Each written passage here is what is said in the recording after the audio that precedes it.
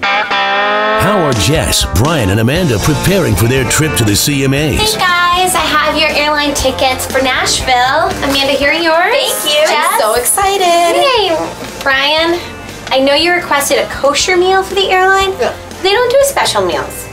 They don't actually do any kind of meals there, so thanks for making me ask. Look, I know I'm not Jewish, but it's a little known fact that if you ask for a special meal, it increases your chances at a first class upgrade by 8%. I ain't as good as I once was.